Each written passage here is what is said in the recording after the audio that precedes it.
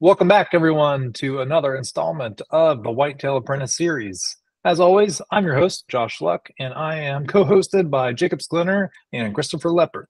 Fellas, how you doing? What's up? Hey. Hey. Uh, so we are very excited about today's guest. We have on Dr. Bronson Strickland. Some of you might have heard of him on various podcasts, uh, but this is a this is a guest we've been wanting to have on for a while. Um, so without further ado, uh, Dr. Strickland, why don't you go ahead and just introduce yourself for anyone that might not be familiar with you, um, and just kind of give a quick background of your expertise, if you will. Yeah, sure thing. Well, first of all, thank you all for having me. Uh, it's a pleasure. Um, I am a I'm at Mississippi State University. I'm a professor of wildlife management. I'm also the co-director of the MSU Deer Lab. And essentially what that means is we do deer research, uh, but we really try to focus on deer research that is meaningful to our state wildlife agency, the Mississippi Department of Wildlife, Fisheries and Parks, as well as to land managers and hunters. So we make a very concerted effort to do research that we think is going to be really useful to managers and to hunters. And we try to make sure that we interpret scientific findings and get them out so people can digest them and apply them. And we do that through websites and publications and podcasts and videos. So that that in short is is what I do. Nice. How how long have you been doing this? I have been uh golly uh in this specific position 18 years. Oh wow. Yeah. Quite some time. And then your your close colleague, uh, his name is eluding me for some reason. Steve Um, Demarais. Steve Demarais, that is correct. He's also a wealth of knowledge. I've I've listened to the MSU Deer Lab podcast for oh, uh, I guess a couple years now. How how long have you had that? Has it been three or four? Um if I'm remembering correctly, and I'm, you know, we're talking about my years of experience, that that takes its toll on your memory. Um, we started that either in 2017 or 2018. Okay, so longer than I'm thinking. Maybe I think I've just been listening to it the about three years now, on and off. Uh, some great information for any for anyone that's listening to us. I do highly recommend going over to the MSU Deer Lab podcast because there is some very good information on there. And you you guys have uh, some of your grad students are a wealth of knowledge too. Uh, was was Mariah Bogus one of your guys' grad students? Yes, and I completely agree. He was and still is a wealth of knowledge. Yeah. Yes, yes, he's been one that I talked to Chris about. I'm like, man, we should we should try and get Mariah Bogus on the podcast to talk about a few things. Yeah, so there's there's a bunch a bunch of good graduates come come out of your guys' school. He has a Um, lot of uh well, he was a deer coordinator for the state of Indiana, the deer biologist or deer coordinator for the state of Indiana for a couple of years. Yeah. And uh, he also has a lot of good hunting experience from your neck of the woods. Hmm. So probably a lot of things you would have in common to talk about. Yeah, I, I really wanted to get him on and talk about. Um, I- don't know if his area of expertise was uh, ac- uh, different oaks. I feel like I remember hearing an episode where he was talking about different oaks and acorns and and stuff like that. He is Mr. Red Oak. So yes. That is good to know. I was He actually out than you want scouting. know. I was actually out scouting today, and I was glassing up the different red oaks. There were there were quite a few are holding acorns in, in our area. I didn't find too many white oaks or even chinkapin oaks holding any. It's Um, it's almost like worthless to even care about white oaks at this point. I'm convinced. Even on the years where they are loaded, I they're hitting red oaks or well, a pin oak is a red oak, but they they smash pin oaks all the time, and pin oaks drop consistently. White oaks around here just they kind of suck. Yeah, they're very inconsistent. Uh, well, I don't want to get down too much of a rabbit hole, so let let's go ahead and just kind of give the listeners an overview of what we plan on doing for this episode. Uh, so, for everyone listening, um, this is kind of kind of a transition point in the series. Uh, we're going to start with this episode and and really cover kind of buck um, behavioral patterns, travel patterns, bedding patterns, different things along those lines. And we're gonna we're gonna try and do it chronologically throughout the season. And the idea for this episode is to give the listeners kind of a base knowledge of of okay, this this is what the research says. And then the following episodes after after this, we have uh, we've done interviews with various hunters on various topics. So we'll we'll have an episode coming out on bed hunting. We'll have an episode coming out with a hunter that's really good at identifying and utilizing scrapes and licking branches to you know to kill deer, um, and and various things like that. So the listeners will be able to go back to this episode and say, okay, here's what the research says, and then in the following episodes they'll be, okay, here's what the anecdotal uh, evidence from this experience hunter says, and you should be able to kind of go back and forth and say, here are the similarities, here are the differences, and if there are differences, understand why there might be differences. So that way you can apply whatever tactics or skill sets or anything like that to your specific area. That is the hope of what we're doing here. Um, so before we get into things, we're going to throw out quite a bit of terminology. And Dr. Strickland, I would, if it's okay with you, I'd like to just hit on some of the terminology, kind of give brief definitions before we get into all that. So that way, when we start, you know, going down these rabbit holes, the listeners will have um, a, a, good understanding. Um, so, Jacob, you had a list specifically that you would like to hit on real quick, correct? Yeah. Yeah, I had a few just different things that'd be good for us to get down. There's more terminology that we're going to cover throughout this, and we can kind of define it as we go. But I feel like it'd be easy for whoever has got their notepad out, which they probably should for this episode, to write down these definitions right now. So uh, the first one I kind of wanted to touch on that I often hear in studies reference is a bedding bout. And when defining that, I wanted to, and I don't know if you're, you're I'm sure you are familiar with this, but um, specifically, how long are they bedded in a bedding bout?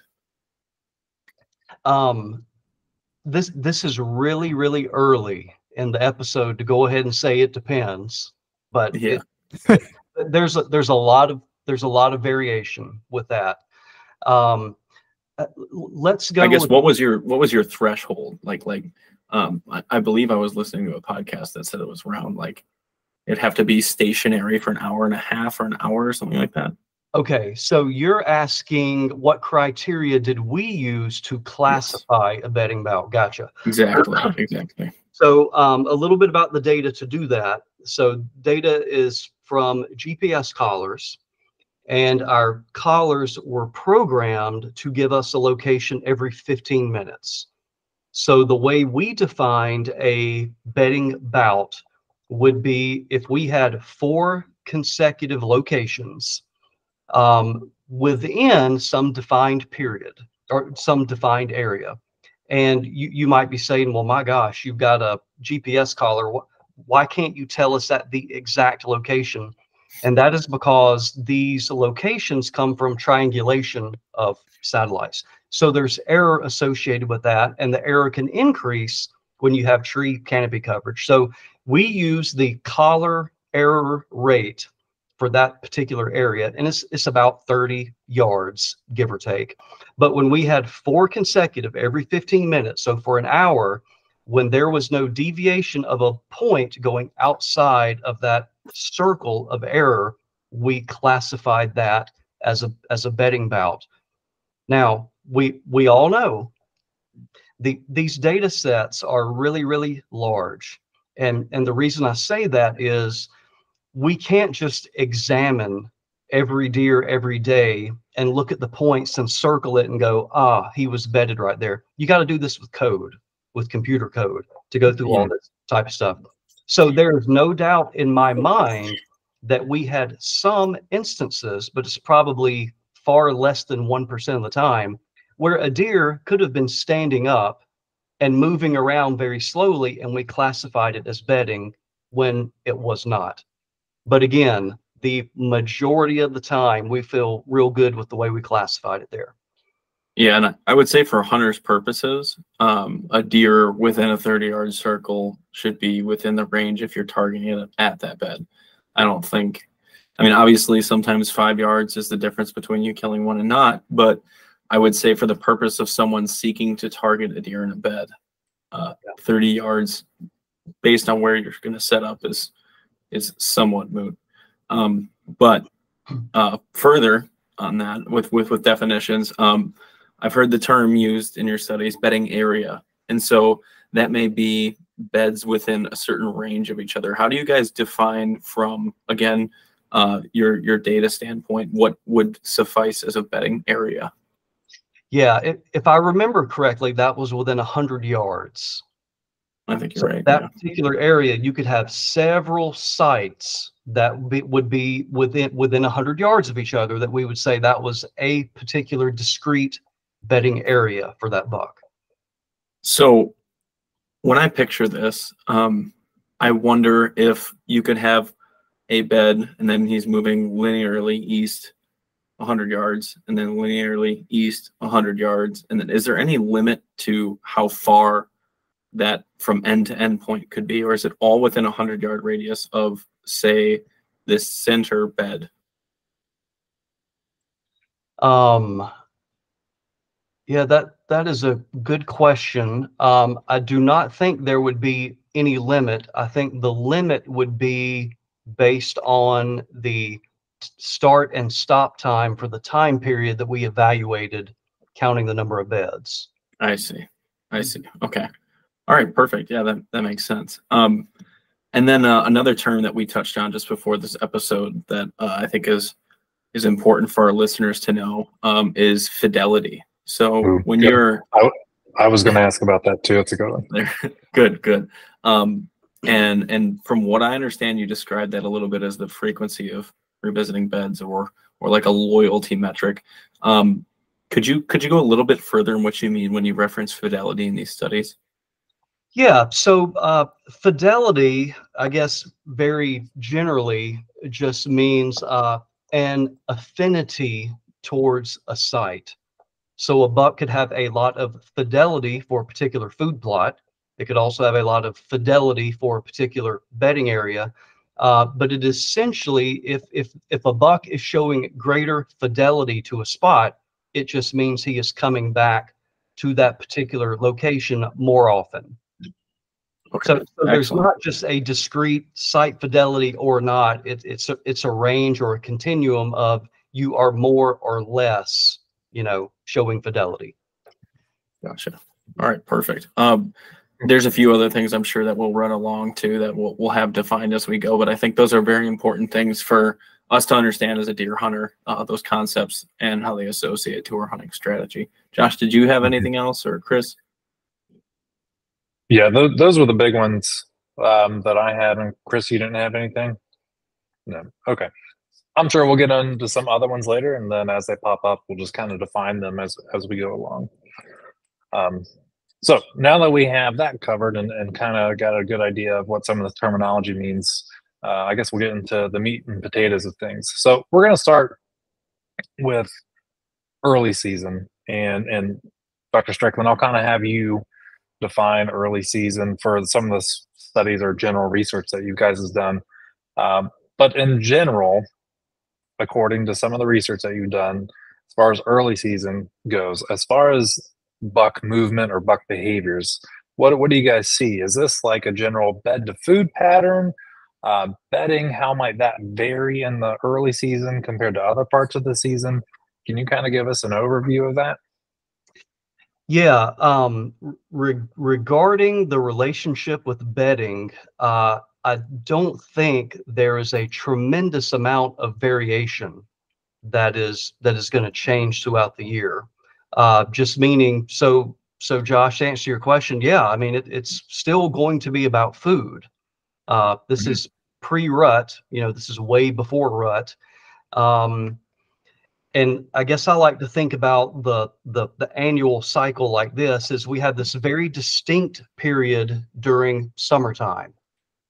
And that is, you know, bucks are friendly to each other.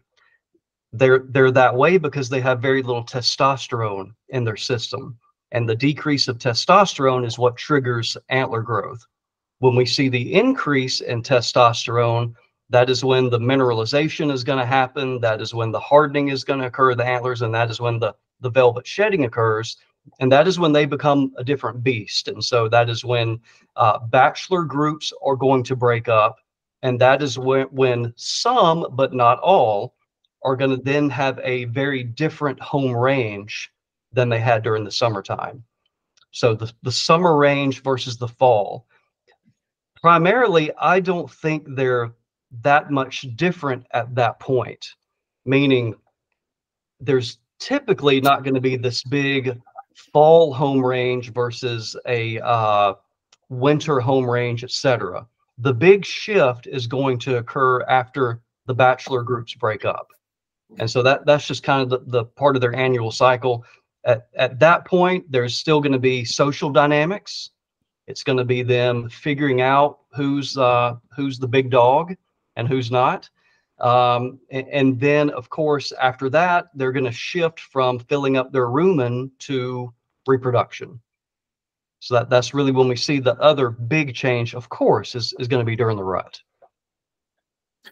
So, and uh, you do a great job in these studies of actually breaking down specifically rather than just saying like blanket statement, early season, pre-rut, peak rut, etc you actually break it down by month and by time period as well. And as some hunters may notice as they look through some of these studies, and we'll be sure to link your website and uh, a lot of your publications on there, but they'll notice that your peak rut looks like it happens in December. So with that, that might be different than some of the areas that these the listeners uh, have in in their experience.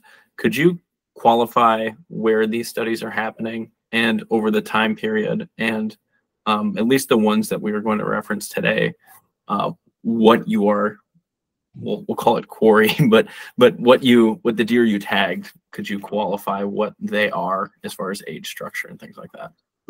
So the uh, the, the study that we're, we're talking about here with the the bucks that were GPS collared that occurred in central Mississippi um, geographically, it would be east of our Delta region. You know, Delta region gets a lot of fame associated with that. It's our agricultural region. It's where our biggest bucks are harvested. It's our farm country. This was a little bit east of that. Uh, it's called the, the Big Black River Corridor. And it's kind of an ideal mix of uh, a little bit of topography, but but not a lot but an ideal mix of diversity of different forest types, meaning upland pine, upland hardwood, bottomland hardwood. And, and to me, the ideal interspersion of agriculture.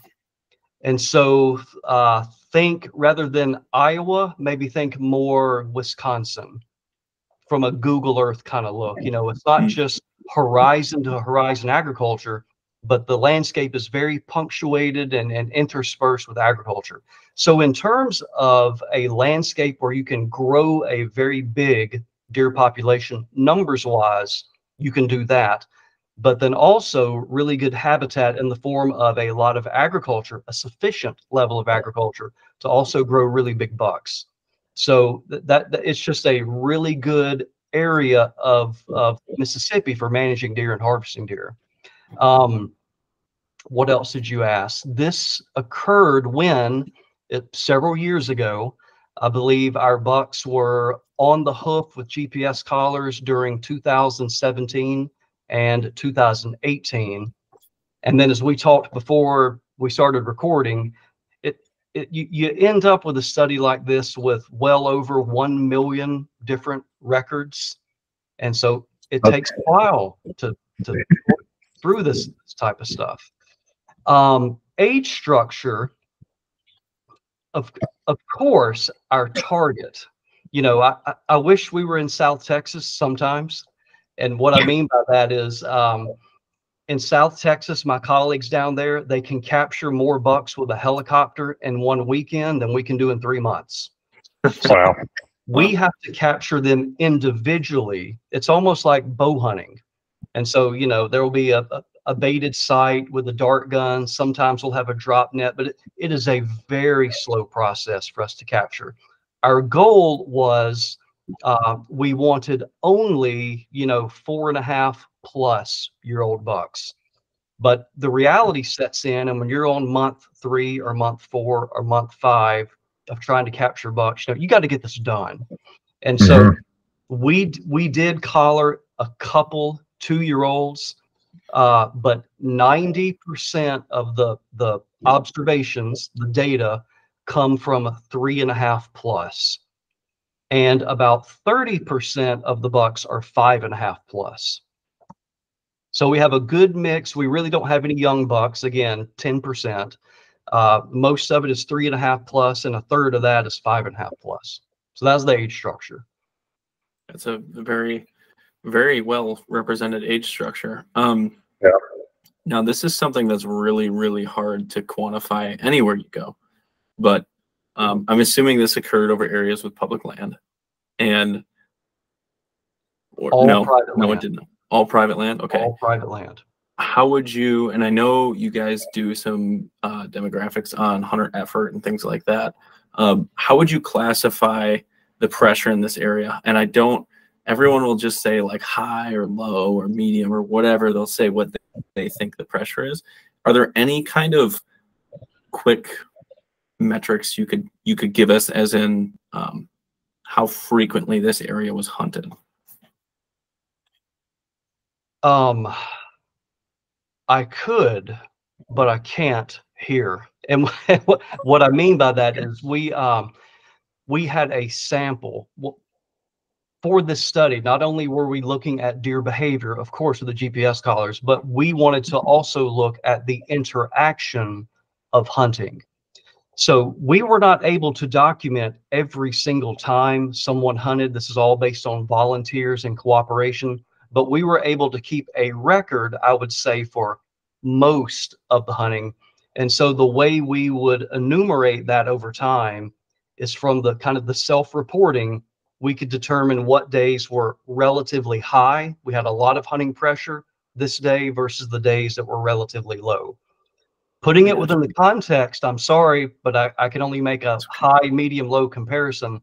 That's I would say relative to a wildlife management area or a state land or refuge that's hunted hard, I would say if that, if that were a 10, if hunting pressure were a 10, I would put on this area uh, a four. Okay. Yeah, that's much that's much better than just saying high or low. That's that's great. Yeah. And and it, it's very hard to to quantify because as I've moved to different areas and I'm sure Josh and Chris and and you Dr. Strickland as well have seen that there's an intelligence to certain hunting pressure in certain regions and that is a factor that is not captured with sheer numbers. I think that uh, yes, there's successive hunters, but there are lots of hunters that seem to key in on certain things a lot more than others too. So I would say there's areas that I fear three cars in a parking lot a lot more than I fear 10. Um, Yeah. And it's usually because I know what those plates mean and I know who's in there. Um, but yeah, yeah, I mean, I've hogged the stage enough. Um, I, I really like that you're able to quantify a lot of that stuff for us. Um, there's one more question I was going to ask, but I can't think of it right now. So, Josh, I'm sure you have another one right here. Yeah, yeah. I'll I'll go ahead and, and go back to what you were saying earlier, Dr. Strickland, when you're talking about when when you got that velvet coming off and you have start having these shifts where the bucks will go from their summer range to like their fall range. Um, I've I've heard some different things on, on podcasts. They're not coming to me now, but I, I I believe I've heard you talk about like a percentage. Like some some bucks will kind of stay, some bucks will shift. So as far as like a percentages, when because a lot of people around here just assume like all like almost all the deer will shift away and do a fall pattern. Like how how accurate is that? Is there like a percentage you can give? Yeah.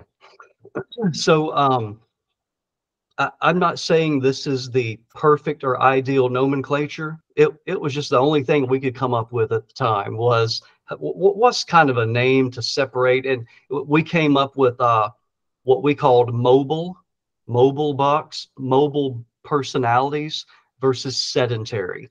So sedentary would have a great deal of site fidelity compared to a mobile buck. But that that percentage, Josh, was 30% from our sample. 30% of the bucks demonstrated what we would call a there we go, a, a mobile personality. And I think this is going to help set us apart a little bit at times. Is I'm going to try to show a little bit of these graphics from your study as we go on. So this is a graphic above of a mobile buck and a sedentary buck. that there that that's perfect. That's perfect. And so how did we differentiate? You know, when we're we're talking earlier about you kind of have to write code to to analyze all this stuff. Mhm. Essentially, a mobile buck is going to have two separate non-overlapping home ranges. Meaning zero, zero overlap with you know part of the year for half the year and the other half of the year they they are completely different and separate versus what you see at the bottom of the screen there a sedentary buck kind of follows that conventional wisdom that we always think of now that particular buck buck number 13 that is not to say that buck used all parts of his home range evenly throughout the year he definitely favored different parts of that, but there was never a point in time to where area he was using was completely distinct and different than another. And so we had some of these, what we termed mobile bucks, might be separated by a mile. Some of them were separated by uh, 10 plus miles. And then the, the buck that got really famous uh, several years ago was the buck that would spend his fall and winter in Mississippi and spend his summer in Louisiana. And so he would swim the Mississippi River in February, spend the summer, and then August he would come back to Mississippi. And he did that two years in a row. So that wasn't just a, a one off. I mean, he had a pattern not only of making that trek, but even the timing of when he left and returned was remarkably similar. Wow. That is What's, a hell of um, a swim. Yeah. Wow. What's the thought behind like why these mobile bucks? Why why do they shift? Is it is it in correlation to like you know rut? Like they have found a doe group that tends to come in at a certain time. That's just what they prefer, or is there any thought behind that?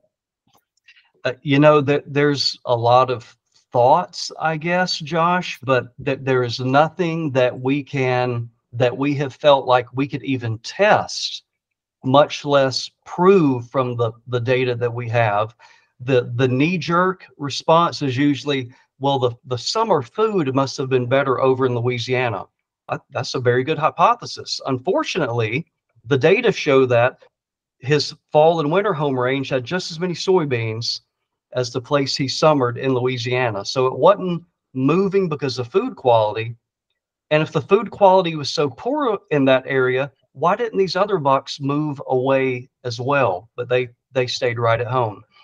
There's been some hypotheses regarding, well, who knows? Maybe that buck was born there. Maybe his natal range was in Louisiana.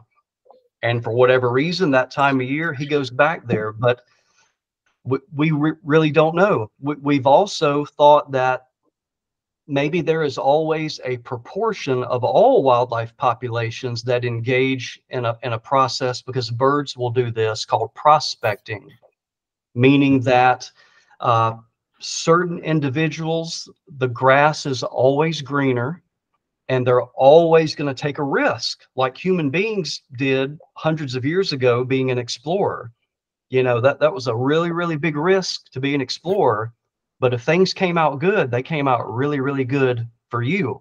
Um you you may also die at sea or may you may also die where, wherever you explore to. So sometimes we just wonder if that is just part of the evolution of a whitetail or a species or others that there's always some individuals that are going to be explorers and they're going to be colonizers and if they go and the grass is greener, they'll stay there. Now, Josh, other than that, we we, we don't know. with that hmm. particular buck, did did he get killed? Did he die of old age? What what happened there? Because I noticed you said he swam across the river two years and then there was nothing left. So can you kind of give us some insight on what happened?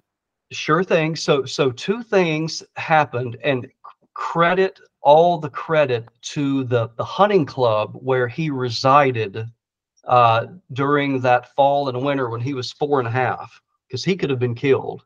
And uh, luckily, they they saw the collar and participated and kind of were intrigued by the story of this buck, and so he was not harvested and again did the exact same process. But that following hunting season, his, the time was up on his collar. We could only get about two years of life out of their collar. Okay. So, uh, he, so he was harvested that fall. Okay. How how big did he end up being? Um, a little above average, respectable. Um, I don't know the exact Boone and Crockett score, but if my memory, uh, I would probably say mid to high 130s. Solid buck. Yeah, solid buck. Yeah. Yeah. Yeah, especially, especially for Central Mississippi. Especially in the Mississippi, Louisiana. Although I'm I'm still holding out. I see lots of big deer from almost every state in the South. So well, that's still that's a good deer anywhere, really. I, yeah. I believe I heard from Luke Resop that he said he would put this uh the uh, Black River corridor up against any other area in, in consi- any other area in the U.S. Um, yeah. in terms of Boone and Crockett bucks produced, uh, which is extremely high praise. Um, yeah. But he, he talked a lot about the biodiversity, just as you two have. Um, I'm assuming that the acreage covered or the miles covered was purely dependent on the bucks that were how far they traveled, correct? Correct. Yes. Okay. Okay. Excellent. Um, man, there's only about three billion questions I'd love to ask you. Um, so um, but before we we get on a little further, I just wanted to so this this just to help the listeners out, and it might vary because you're a little bit further south than than we are, but this the time where you start seeing the shift uh, for you guys down and where the study was taken. When about when during the year did this take place? Um, well, for, for the the buck I was just referring to, that began in uh, in February is when he would start staging on the Mississippi side of the river and then go to Louisiana. So February was the month he went from Mississippi to Louisiana, and August was the month he went from Louisiana to Mississippi. Um, there were some of the other mobile bucks also. I, I cannot say that is always going to be the pattern, that it's always going to be August, but um, I would say generally in that time frame though, fall. Why don't we call it fall and spring? Okay. All right. I was just I was just curious. We whenever we see um, those bucks start shifting, it, it's typically in that uh, late August, like September-ish time frame, kind of all throughout the month of September around here. I would say uh, we did an episode a while back on beating the shift, um, just different tactics we found or kind of things to hone in on, so you don't get as many mobile bucks. Uh, it was really nice because I think after we did that, I heard you on a podcast. I don't remember which one, and you were you were talking about the sedentary versus like the mobile bucks, and uh, it was just really interesting because you said thirty percent would be mobile, so that means you know seventy percent would have to be sedentary, and that's essentially what we were trying to convey on on that podcast with what we've seen and, and utilized is uh, me, for example. I, I tend to hone in on areas with uh, lots of diversity as far and like as far as food you may have like ag and it's been there's been some sort of cut maybe a select cut different oaks kind of everything a deer would need in one area. Um, and with it being public it also for me to quantify it, it it has to have areas where deer can go and escape pressure. They don't have to go far but they can easily escape pressure. So i have found more of those sedentary bucks in areas like that over the past few years. So um, it was just very interesting how it kind of matched with with what you were talking about. Well, what if I, I may just for another minute or so?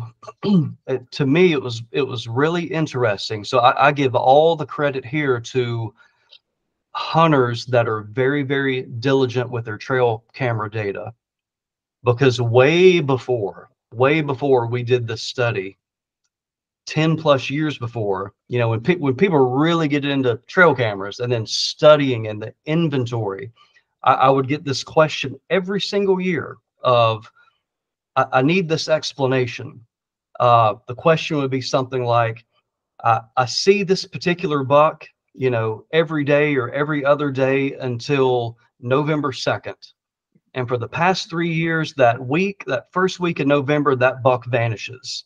And they go on to say, I assume it was killed because I got it so consistently and then it was gone. And then the next year, they see it again. And then that first week in November, it's gone. Simultaneously, it might be the other side of that of we never ever see this buck. We never see it during the summertime. We don't know anything about it. And the first week of December, it shows up every single year. I did not take that very seriously before we did this study. And we started seeing these mobile bucks and how they have a pretty reliable calendar of when they do this home range shift. Um, it, it, it's it's pretty reliable year after year. Now we only have two years of data. I wish we had ten years of you know all these bucks collared. Um, but that was what what I saw was enough to go. Yep, all those people that had that camera data that were saying that buck was either gone on this week or would always show up on this week. This that's what's happening. Yeah, we've yeah. we've talked to many guys about that. It's uh, who were we talking with recently, Splinter? Uh, we were talking with Shane Parker about this because he's mm-hmm. he's a guy that lives in the South. I don't know if you've you've you've heard of him, Doctor Strickland, but he he runs.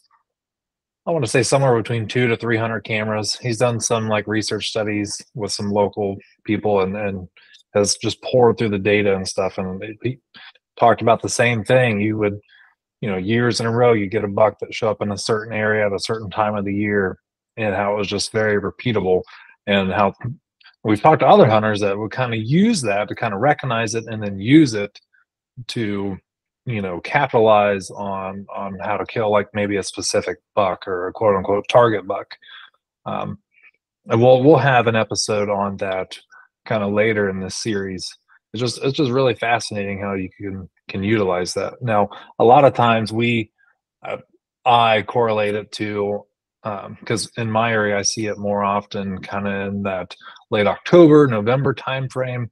So I usually correlate it to uh, maybe a doe's coming in early, or some of those you know first does coming in the cycle, um, and just bucks kind of keying off on that, or or you know you get those uh, fawns that come in late, and then you'll get some bucks that move in it just seems that they're very familiar with that. That that's what I usually related to.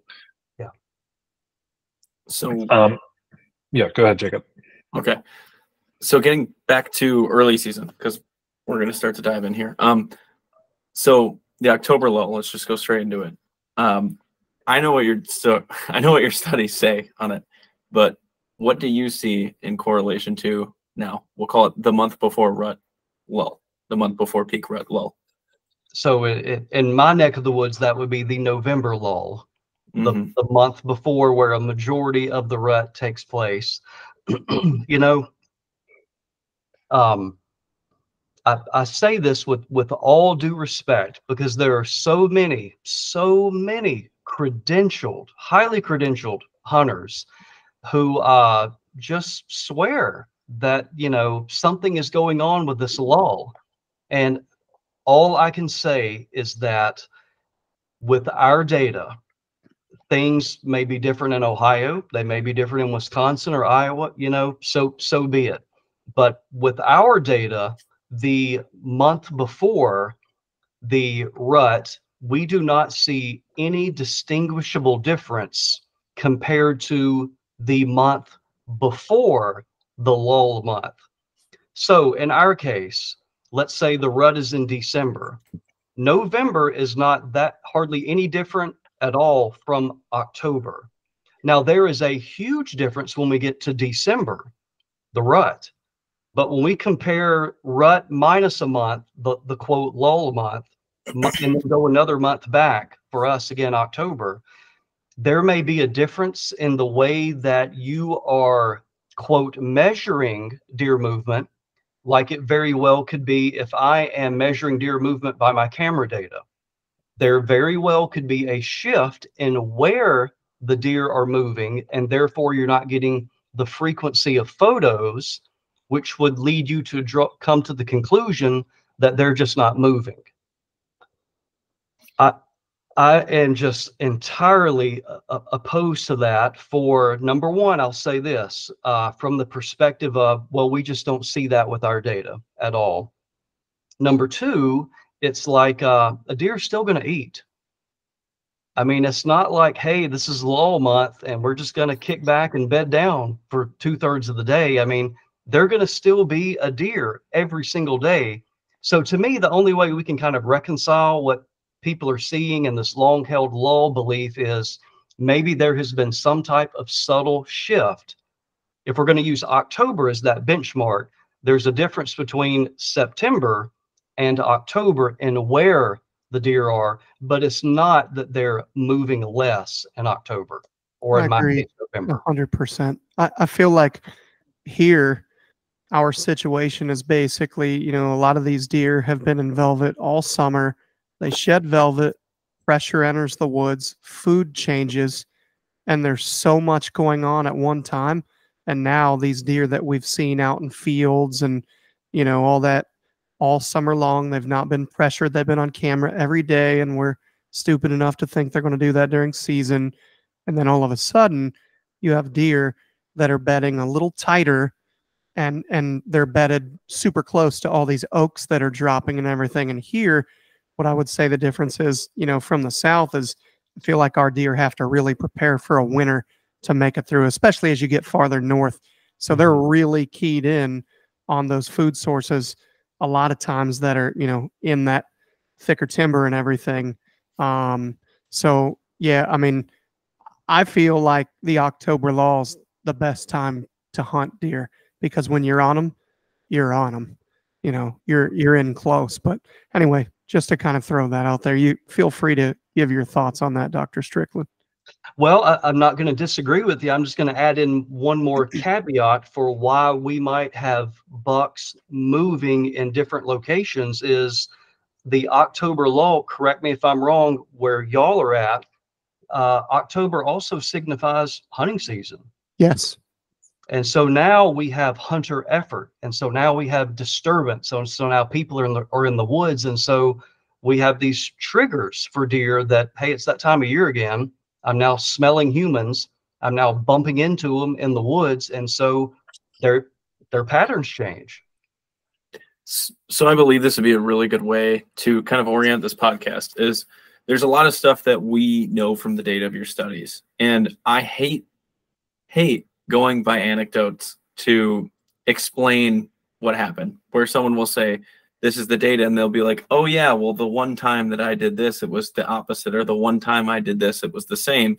You know that that is not proof of a fact but it is an experience and it and it helps in our minds validate it. So i i do like however this theorizing about what is impacting the movement or what is potentially making the data go away from the example that a lot of people see and so while a lot of people as you pointed out hunting season starting um, I would say that there's a mid September looking kind of lull in Wisconsin or late September lull in Wisconsin.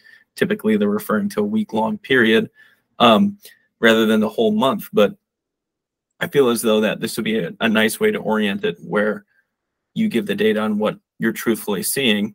And I that was the exact point that you just touched on is that a lot of people do check their cameras because they get really excited at the beginning of the season. They do hunt around their cameras and they do hunt. And so their hunter observation will be lower if they're hunting in the same areas repeatedly. Their cameras will have less activity if they're approaching their cameras and leaving their scent around those cameras, especially if they're hunting on their cameras. So I feel like the way you combat the lull is not to be habitual and to go in analyzing sign of what the deer are actually doing and adjust to those situations. Um, I think you hit the nail on the head. Thank you. You have an excellent graphic actually in your study. Um, let me see if I can find it really quick. yeah. But You, I you able believe pull it that is. up?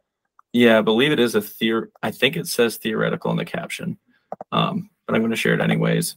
Uh, you show how stands not hunted being in these boxes right here, these orange or yellow boxes, and this is a normal deer's range, and then this may be how the deer adjusts its range due to that pressure. And I think this is while you do say a theoretical example, I think this is fairly accurate because you see the deer doing things like potentially moving downwind of these beforehand or as it encounters them, making a change in its direction. And I think this is fairly realistic for for what I've seen at least, again, anecdotally in my hunting experience. I I would agree there. And I know Chris has experienced this before, but Dr. Strickland, have you I know this says stands stands hunted. Um, have you done this with like trail cameras at all? So like known trail camera placements and like how often people are going to go check the cameras and then how those bucks might maneuver around the cameras?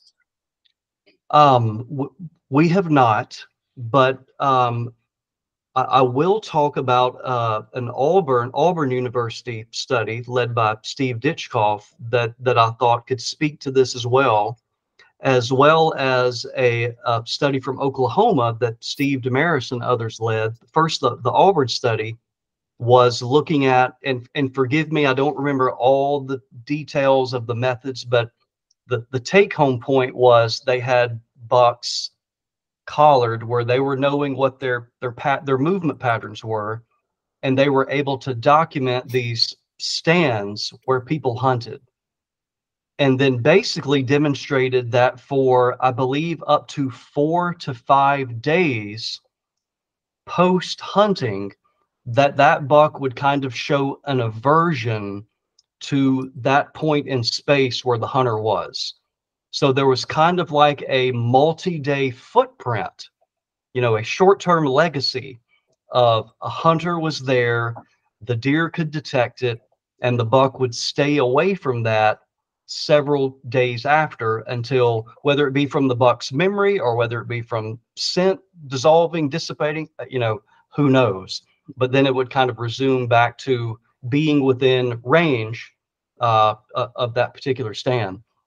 With this Another aversion, I'm sorry. Sorry, sorry, I interrupted you.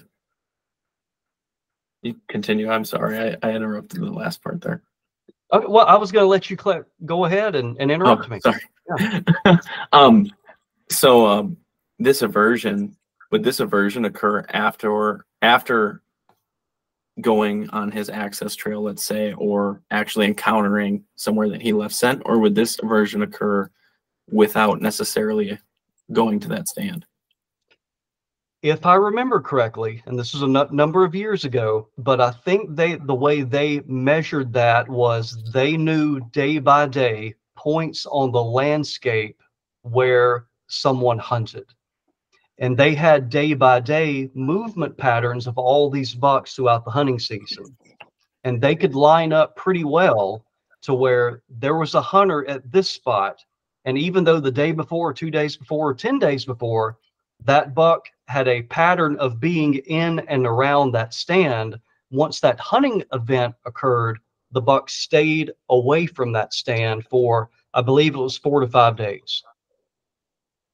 And, and I'm sure you can look that up. I, am sure I do not have all the details right, but uh, I, I, thought that was very interesting. Um, similarly, Steve was part of a project in Oklahoma, and this was a really, really big private property where they could manipulate who got to hunt where. And so a true treatment control type deal. And so they had two years, so they could they could uh, Josh they could randomize every year where the treatment occurred and where the control was and so forth. And so they had a control no hunting.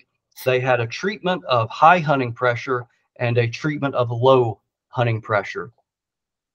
So think like if you're signing up for a WMA hunt and when you got notification that you were drawn, uh, it was either, you know, tough, you know, nobody hunts in this area, or you are assigned to the high hunting area where there's a bunch of other hunters, or the low hunting pressure area.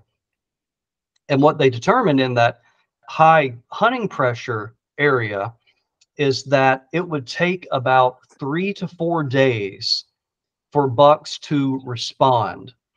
And they were still moving. If you looked at like the total distance that they moved that that really didn't change. But how they navigated the landscape differed a lot meaning they were not taking what we would say these long and linear step lengths So they were not, you know, point A to point B to point B. They were not exposing themselves after a couple days.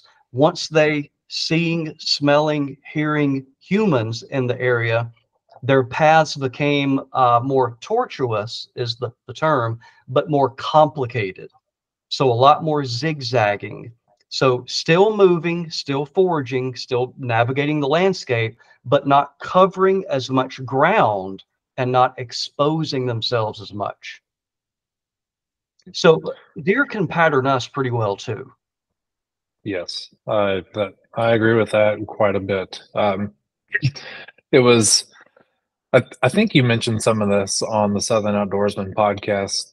Uh, might have been a month or so ago now, and it got me thinking. Two years ago, I I harvested a buck in September, um, basically using what you had just talked about. I was using hunting pressure um, to kind of help narrow down a, where I thought this buck was was going to be most vulnerable in daylight.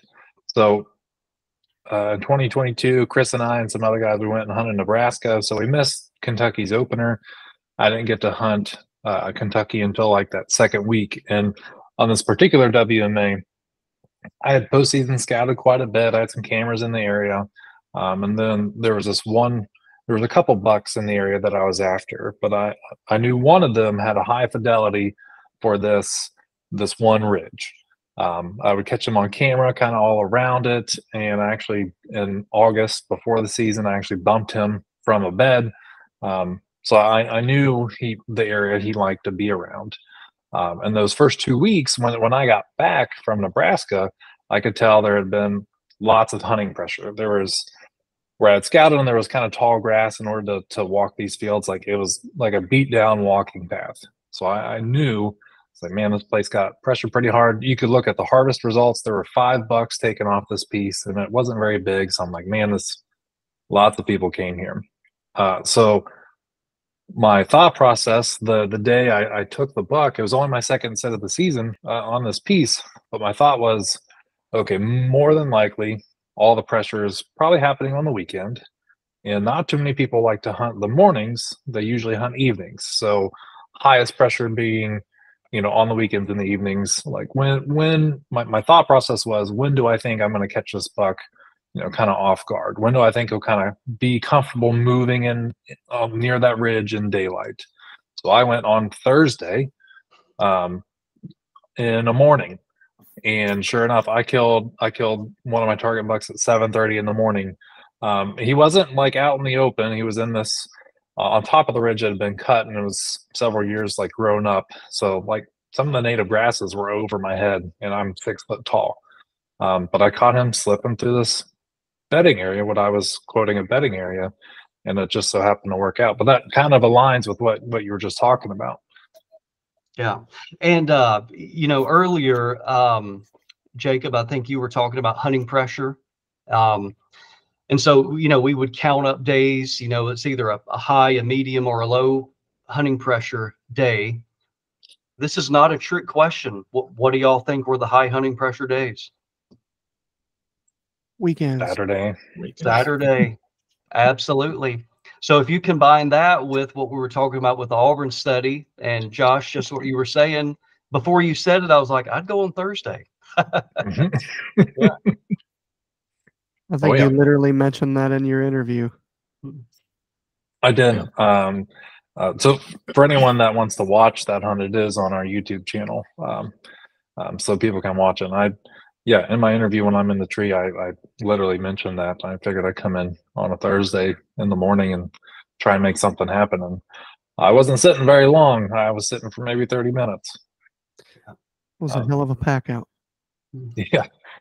Um, so, but sorry, Jacob. I wanted to go, go back ahead. to to one thing um, where where we had gotten into the quote unquote lull period. Um, I believe I've read in some places where it, where it talks about, and and this could be wrong, so I would like for you to clarify, Dr. Strickland, where it talks about. I'm trying to think how I want to word this. Uh, I believe I read, and I, I can't remember where it was, but buck uh, bucks tend to move as as you get further in the year, they'll move more and more. And I don't remember if it's like distance wise or if it's just more movement during daylight as the year progresses. So, and I've I've, I've heard some some rebuttals to the to the quote unquote October lull in our area that that's a myth because like the data shows that these bucks are actually moving more in daylight. Um, is is that accurate? Um, well, w- with our data, that would be accurate only during the rut period. And I would give that, uh, a, rather than just having two weeks, I'd give that over about a month. Okay. Yeah. So go to, yeah, go to figure five. There you go. Here we are. That's what we're looking there's- for. Total distance and what is that hourly? Yeah, hourly distance traveled. Okay. And so you can see it really gets you until the pre-rut. And during the pre-rut, that is when you see more movement, period. I mean, they're just covering more ground, period, in daytime as well as nighttime. But if you look at hourly movement rate, the rut, that is when they are moving more during the day. They have an elevated pattern of moving during the day during the rut. Gotcha. For for our listeners, we we um, I do recommend going over to the YouTube and, and looking at this because we are pulling up the um, buck movement study uh, that was published by by the Mississippi Deer Lab here. Um, if if you don't get on our YouTube, you can find it on their website too. But it is on page seven that we're looking at here. Okay, So that along with movement in different times of the year, uh, I was wondering about uh, fidelity in relation to different times of the year. And I don't think, I'm, I'm sure this has been discussed because you've done a lot of different things, but I, I don't hear it quite as often as I hear some of the other things. Uh, is there a relationship between a buck's fidelity with bedding and the time of year that he's bedding there?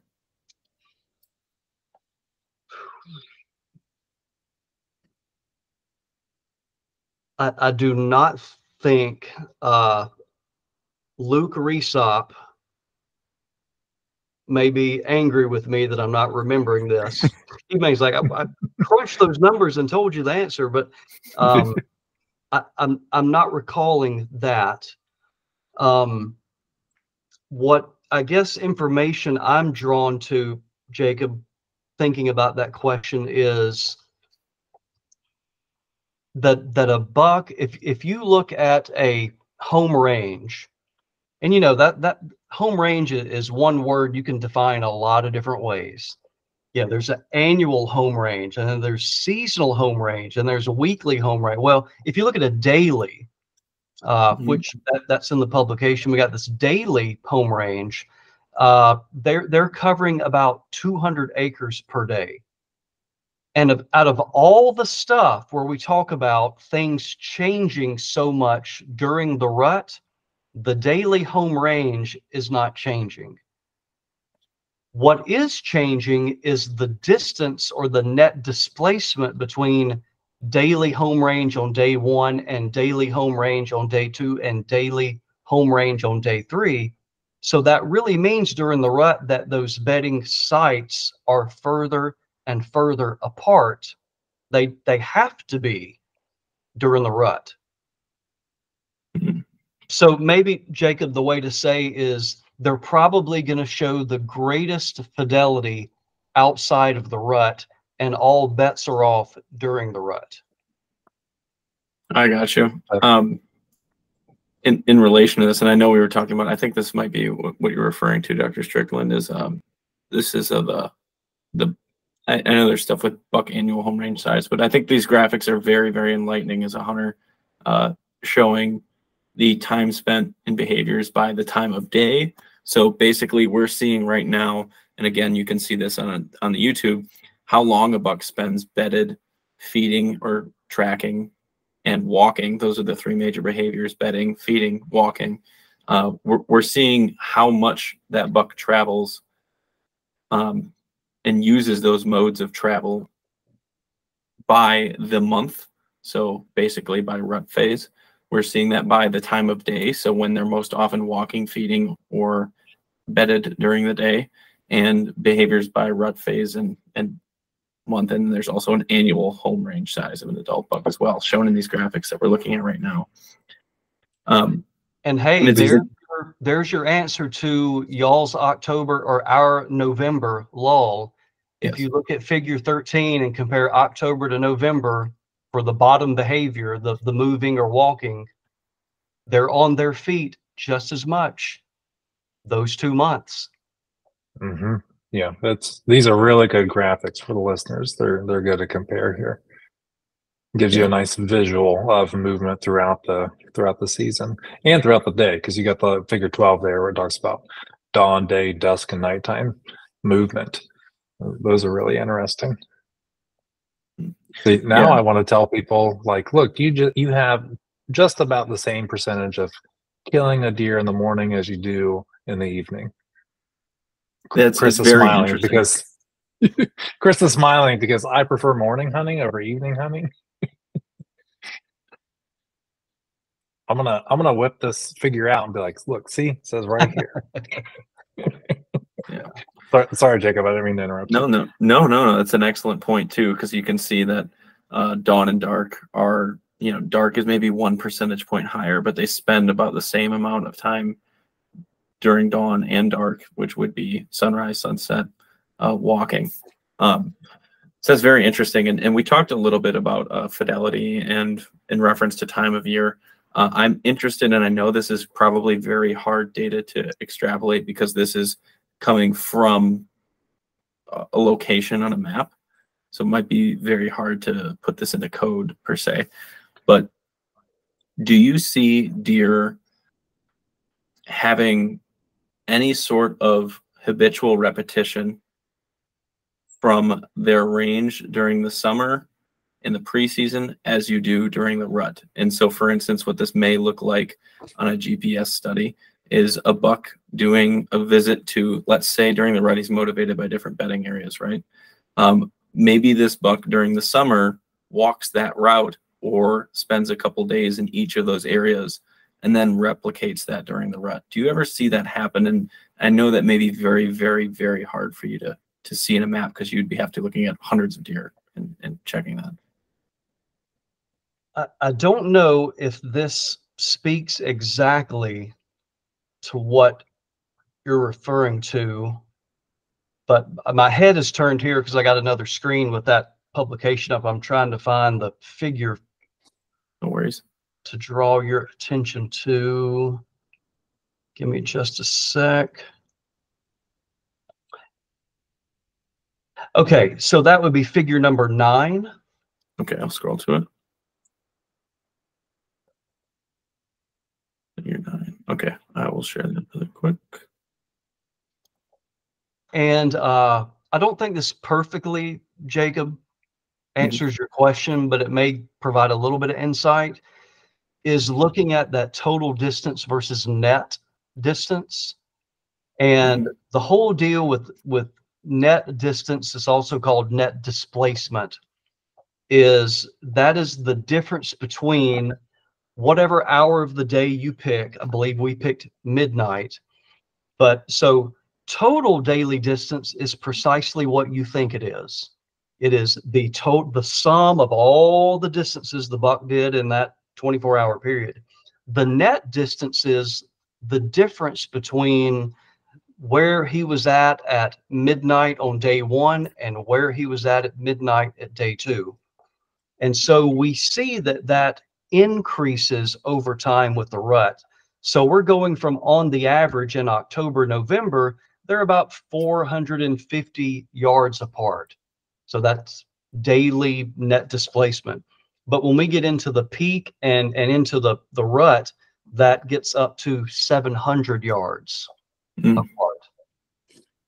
So I I guess, Jacob, the way to say that, I can't give you exactly what that would be, but they are demonstrating a lot more fidelity in October and November as compared to during the rut. I gotcha. Yeah, that that makes sense. Very interesting. It would be interesting. Yeah, it would be interesting to I'd probably it would be very difficult to do, but correlating those um, that quote unquote fidelity, like in the in the rut time frame, if it if it kind of correlates with does coming into heat, like Mhm. you know, because they only spend what like three four days with the doe breeding her, and then they move on and then find another doe, and so I'd be I'd be curious is, well maybe I should ask this: Do you ever see? Well, I guess Jacob, you were just asking this as far as any type of pattern, like a yearly pattern, like on like let's say buck A, although he's moving quite a bit, he tends to hit these same areas during that rut time frame, and then the next year he he does the same thing. Do you, That's a do little you see that at all?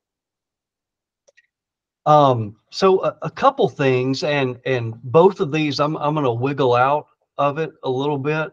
Uh, but th- those are very good questions. Uh, the the way Luke and I and others phrase that with like bedding is when you do have an an area where a buck is showing some fidelity, some bedding, is uh, we call that circuit time. So in terms of running a circuit and coming back, you know, you've closed the loop and you've come back to that Mhm. same spot.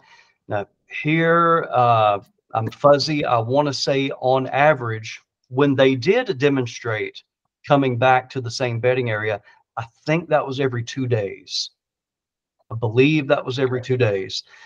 The other analysis, this would not be within the year. This would be a year, two year fidelity is Natasha, if you're not familiar with her, you you will be in the future. She is a uh, a mathematician that is working with the Deer Lab now, and she has upped our analytical game tenfold.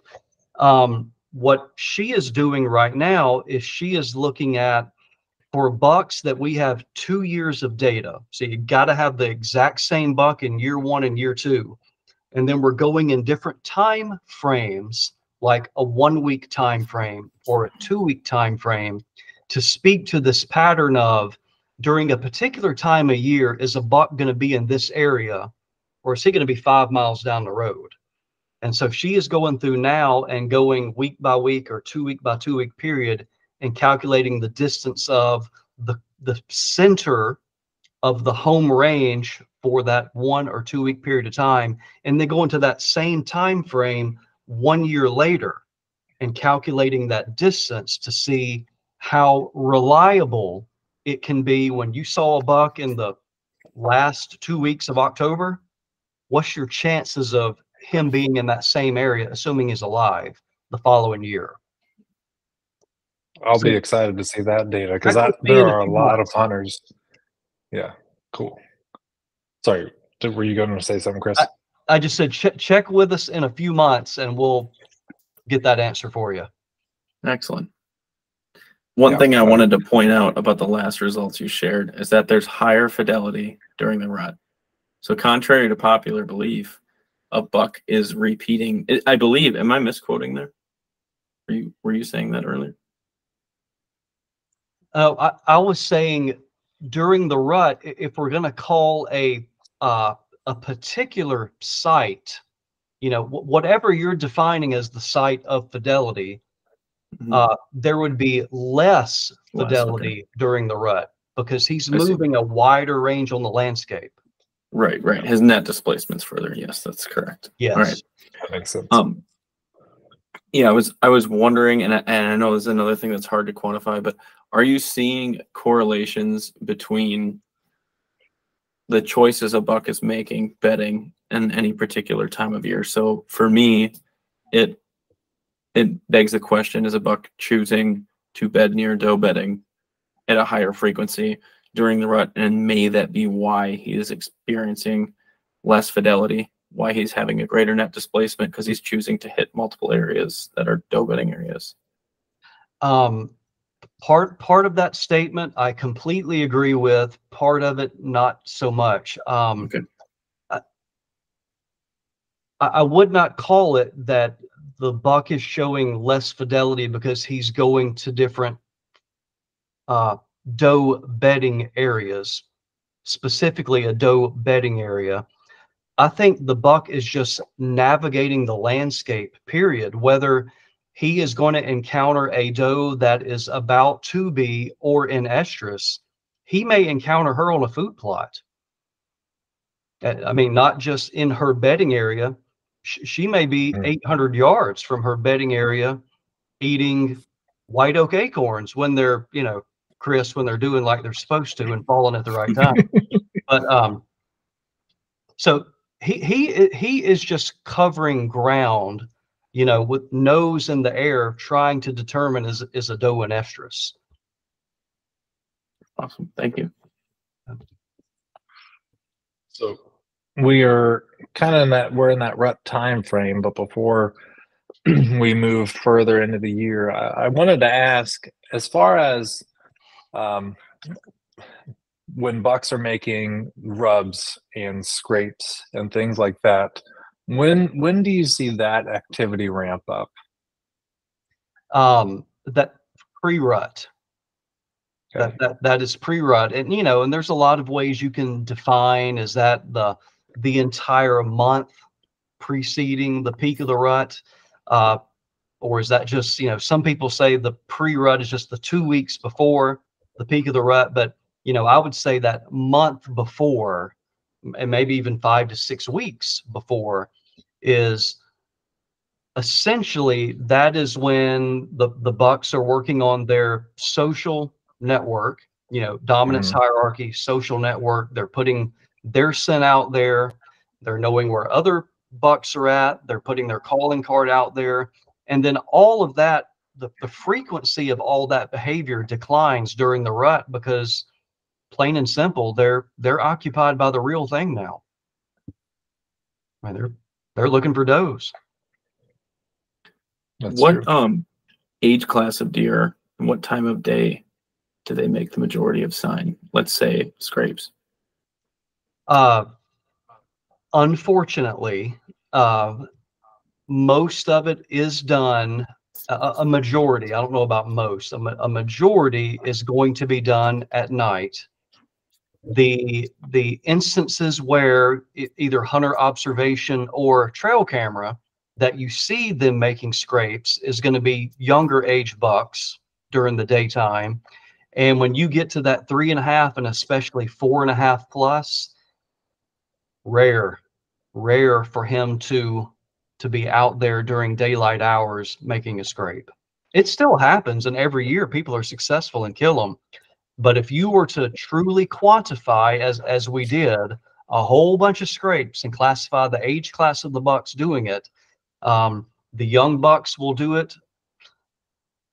All bucks are doing it more at night. The ones that are doing it during the day are young, and there's very few four and a half plus bucks doing it during hunting hours. I'm trying Chris, to you had a think. Of. I'm trying to think of how I want to ask this. I need Jacob's mind to be in mind so I can throw out all of his nice words. Um, how are you? How are you going about figuring that out? And, and I'll tell you my experience. So, if we're talking about scraping here in the Midwest at the end of October and into November and even into December, uh, what I would call a rut scrape, a, a testosterone um, scrape, if you will. Um, are you referring to that, or are you talking about scrapes that happen all time during the year, uh, all times of the year? Um, I, I can't speak to all times during the year as rare as that would be. Um, we did this study. Uh, we, we actually had some other study objectives, but we were able to collect this data as well. So we started monitoring. I can't remember the number. It, it was a it was a lot of scrapes and a lot of cameras and a lot of data. Uh, but we were looking at them, say September, October. So for us, well before the Yeah. pre-rut, you know, the behavior, Sure. all during pre-rut, all during peak rut, all during post-rut. So over greater than a four-month period, we monitored. And to your point, some of these scrapes, when we were going out and finding scrapes, identifying it, yeah, we're going to include it in the study. Let's put a camera up. Some of them, they got visited one time again, and there a, a deer never returned. Yeah. And then some of these were these prime time scrapes that, you know, a lot of deer were hitting. Yeah, it's it's very interesting talking to you guys in the south. Things just seem to be way more spread out when it comes to bedding, when it comes to sign in general, and um, it's it's very difficult to nail those suckers down. I, I feel like once you get where it's colder and you add terrain, as uh, you know, in my experience, and this would be anecdotal, of course, but in my experience, the steeper the terrain, the more consistent the bedding sites are, and then you're able to narrow down certain scrapes where they actually visit them, like mature, the biggest bucks in the area visit them in daylight a lot. Um, it's it's actually quite unreal. It's it's actually some it's kind of the name of my game is targeting scrapes, so that's why I'm so inquisitive about this. So um, I appreciate it though. And Um, and to, I will to follow further with that. So I was just to further Chris's point here. When when we're referring to a scrape, they're not always scraping, but a lot of times they're hitting the licking branches. That's Yeah. what they're hitting. It it's almost never pawing the ground. They're always working that Yeah. licking branch. Gotcha, gotcha. Um, uh, I, I don't even really know how to get at this analytically. Uh, I think you'd have to do a new study to really Yeah. figure this out. But um, I mean, I have noticed the places like you're referring to, and the question I always ask myself down here: Why here? Yeah. You know, what what is so special? And and I know I've talked to a lot of other deer biologists that have seen this as well. And uh, there's never really a definitive answer.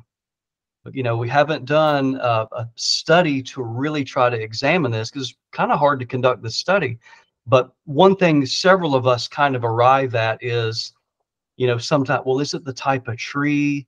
Is it because of the juxtaposition of doe bedding? You know, what makes this, you know, just that really big scrape that we're always visiting? And the one thing we always arrive at is uh, a, a corridor. It may not be anything that is really, really special about this tree or this spot or even anything right around here. But in general, there are a lot of deer moving through this area. And that is just an ideal scrape. If you're going to have a scrape, then that's the spot you're going to have it. It's how it always sets up for me. They're they're Mhm. basically, you know, you could say pressure, terrain, cover, however you want. They're basically kind of squeezed or, you know, favor an area. And there's a good amount of deer that are traveling generally from bed food, bed to food, and and it's pretty significantly close to bed. Um, and they all walk by there, and that's this is where. wi- And I don't mean to go too off topic here, but this is where me and Josh scream at people all the time for trusting trail cams too much because we we see these deer walking by you know 60 yards behind some dumb 2-year-old who set the camera off and he's not even trying he he already knows what's going on. He just happens to be in the background but they're there almost every day in that vicinity. So that's just kind of why the scrape exists and it's actually interesting when we find those scrapes you know the ground's recessed it's got broken licking branches it, they're very easy to pick out when you know what you're looking for so and they're not there because a deer you know decided to go somewhere and make a scrape they're just in a heav- heavily trafficked area Yeah. Yeah. I, I completely buy into that. and i i, I do want to add that i don't necessarily say um you know there's 20 or 50 deer moving through it could be two deer but they go through there all the time so anyway Yep. I just I pulled some cards today and uh I had a cam placed on an area that I identified that looked like they were frequently using some licking branches. And I had two small what I would call like two year olds and some does actually hitting the licking branches uh what is today. We're in we're in August right now. Um back in early July they were you know hitting the licking branches and stuff. And and throughout I mean up until like the day before like yesterday I had a video of one just hitting the licking branch getting his face in it and stuff so but those those scrapes are very interesting they seem to have a high fidelity and a lot of times it's due to concentrated travel and and also like a lot of times they're correlated they're like close to bedding areas Yeah. You should come out with a turkey season only graphic. That would be pretty insane to look at look at that kind especially in the south what that kind of pressure does to the deer and where the heck they go. That's that's not a bad thought. That'd be interesting. How does turkey hunting impact? Yeah, deer movements. Yeah. Be interesting. I, I always wonder. yeah. I feel like the theory behind those scrapes being in high traffic areas is that they're information hubs. They're a place for deer to gather information. How do they do that? Scent. And it seems like that's that's the reason they get they get targeted so much by deer and especially just the local area if they can smell from downwind. But Yep.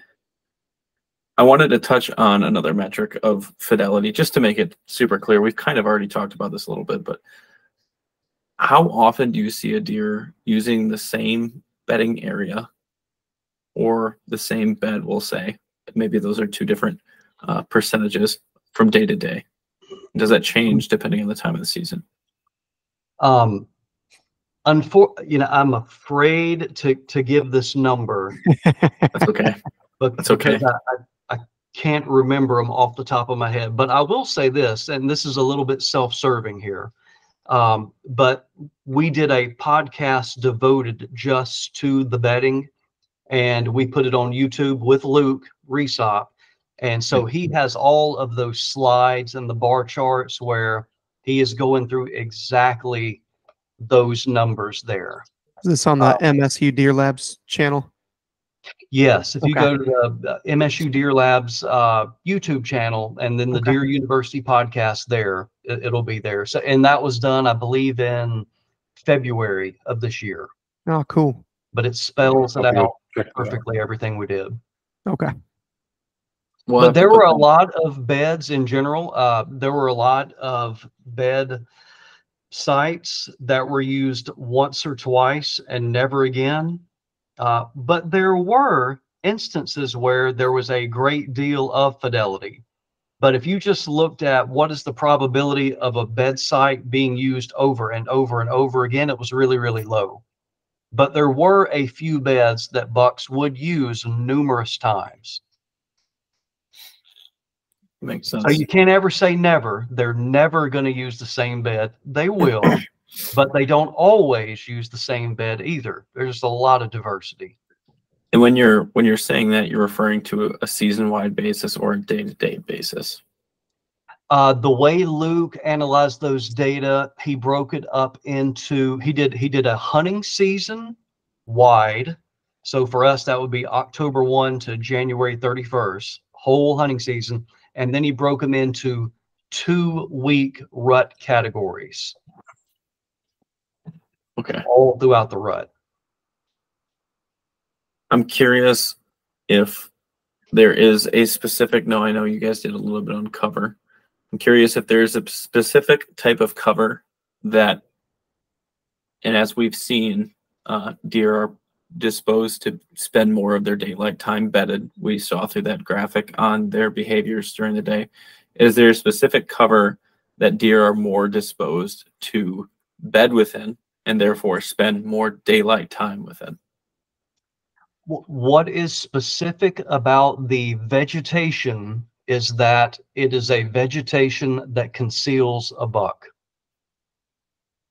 It does not matter if it is woody stems. It does not matter if it is palmetto.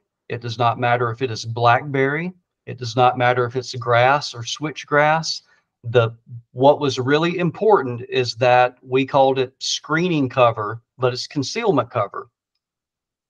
Hmm. And yeah, let's see what figure that is. It's towards the end, I believe. 25 has habitat selection. I think it's also interesting to note that the deer are spending less daylight time in areas where the hunter habitat selection is high. They're spending more time at night. Now, they may need to spend time in these areas, it looks like from the data, but it looks like they're spending more daylight time in areas that the hunter habit the hunter habitat selection is lower. So are you basically saying where you can't get in a tree? Um, yeah, well, I, I guess the take home there for, for us is that let's look at where hunters hunt most often. Down here, they hunt on food plots most often. And so, one of the easiest ways that you can alert deer to your presence and have a hunting pressure effect uh, as, as quick as possible is that deer are attracted to food, just like we are, of course. And then you're hunting on the food, and then you're going to constantly be disturbing them, and not just with the gunshot or the bow shot. It's entry into the stand, exiting the stand at dark, and doing that over and over again. Deer know that uh, they do not need to go to food plots during daylight hours. And one thing that Natasha I spoke about earlier, when she basically did that type of analysis you're looking at, but she did it over time. And what she demonstrated was that at the beginning of our deer season here, and, and even right before the deer season, she was calculating the time at which at which bucks were entering food plots so completely exposing themselves, entering food plots. During archery season, the average time of food plot entry was about an hour before sunset. You had about an hour of legal shooting like during bow season. And the further and further and further now gun season and then into gun season, it completely shifted from the average food plot entry time went from an hour before sunset to an hour after sunset perfectly aligning with hunting pressure throughout deer season. Man. And so what you got to do there is you got to hunt those food plots right, you know, hunt the trail to the plot, hunt in the woods, you know, just strategies like that. Don't let the deer pattern you. Mm-hmm. Really, really hits on uh, a lot of people are big on access, and we are too. Like really honing in your access to not alert the buck, uh, and then kind of our particular style of hunting, mobile hunting, kind of moving around, changing up, whether it be your your entry routes or just you know setting different areas, not repetitively hunting a specific tree or a specific spot, um, just to help increase your odds of of catching a buck in daylight and getting an opportunity at them. I feel like that really kind of hits on that well. Sure. Did we want to touch Jacob. on the screen cover a little bit? The screen cover. Yeah, we were. what we they were kinda- define as screen cover? yeah, we were kind of talking about that a little bit, and then we minorly shifted. Go for it, Chris. Uh, oh, I was just interested that it kind of sounds like it correlates with our podcast with Alan Summerford when he talked about how all the the browse that they get in and bed in, feed in, etc., can be belly height or well over their head, and for whatever reason, they feel extremely secure in it, even though oftentimes they don't have a sight advantage. Um, He said he he calls a lot of deer in and stuff like that, which is very interesting. But you get into the the open timber and then the food plots and everything, and it's freak out mode 2000 basically. They're very edgy. Yeah. Yeah. agree with that. what what what we found is uh that that the type of because someone may ask you know do i need to look for a wet area for this particular type of cover or an upland area with this particular type of cover what we found is the type of vegetation really did not matter it was just is it uh is it an area that will conceal the buck visual screening that was the single most unifying part of all the bedding cover That's super interesting. Got you It- thinking, and- huh? Yeah. One thing I want to point out too is this an area where the majority of hunting season you have rifles and guns rather than bows?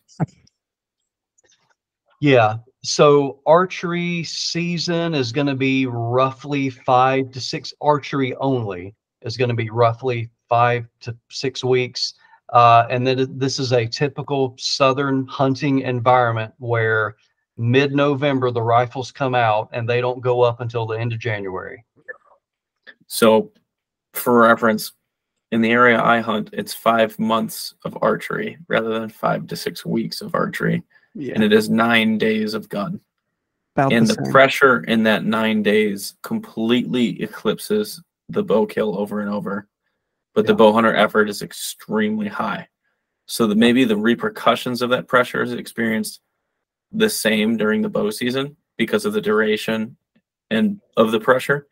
But the damage to the deer herd is mostly done during gun season where I'm at, where you have an influx of hunters, but it's only happening for nine days. Um, so it's really interesting because the, the deer change their behavior greatly due to bow pressure, especially moving towards the rut. Uh, but they change their numbers, we'll say, and they change their behavior even further greatly during gun season, which kind of gives me a little bit of segue. We're talking about uh, this cover and we're talking about time of year and things like that. I'm wondering if the deer are shifting their beds or their preferred daylight movement in the late season or post maybe a lot of that pressure coming in are you seeing any significant shifts other than adjusting to pressure are you seeing a habitat type shift due to maybe post rut or things like that Uh, not yet, but very good question, and we are looking into that. So our, our first examination of quantifying the bedding was was just really about number. You Mm. know, how many times are they doing this? How many times they're they're doing that? Li- literally, our next step with the bedding is getting more to what are the as best we can tell. Uh, keep, this in mind too. Those those bucks had collars on them in 2017 and 2018 and now it's 2024 so even going back to where a buck's bed was that, that was six years ago. So the Mhm. vegetation can be completely different. So but we are going to be looking at things that um that that we think still describe the, the habitat characteristics as well as topography uh, we're even going to be adding in, and this is where thank goodness you got a mathematician. We're also going to be adding in um, how does that change relative to prevailing wind? excellent This site with this wind, this site with that wind. Are you I'm, I'm curious and i know we're, we're getting into the future here but are you collaring does to observe doe and buck interaction in the study as well Uh, we certainly over the years have collared some does for various projects, but but nothing in the amount that we are now. So yeah, we do have some doe data, but it's like three or four or five from this area, this part of Mississippi and this part of Mississippi, but we do not have a collection of 20, 30, 40, 50 collared does from this area, unfortunately. That's okay. When I win the lottery next week, I'm gonna fly you guys up and we'll get you all the deer we can. I'm We'll going to hold that you to that. Yeah. No, honestly, this is something that is just so intriguing to me. Like I would absolutely I mean it would be a thrill for me to be a part of a, a study such as this. Unfortunately, being in Wisconsin, I would be able to partake in an MSU Deer Lab study, at least where you guys are at. Um, but man, if I had resources and I had time to devote to something like this, this is just as Chris and Josh definitely know, this is exactly up my alley. Yeah, it's it's always fun looking at the data and the analytics and like what does it say? How does this differ compared to like what I've seen, or how is it the same? As far as like you know the general kind of your big buck killers, like what are they saying? Uh, what are they seeing? Um, so this is going to be really good to go back to because we've talked about a lot of like correlation between what the data has shown and like what we have experienced.